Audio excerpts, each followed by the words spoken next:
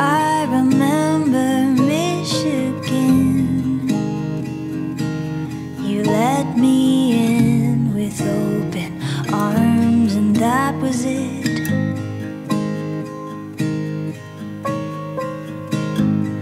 Silly games and deepest truths.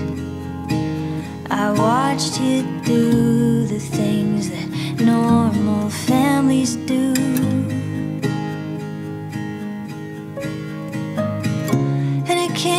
surprise, there was fighting but no bite.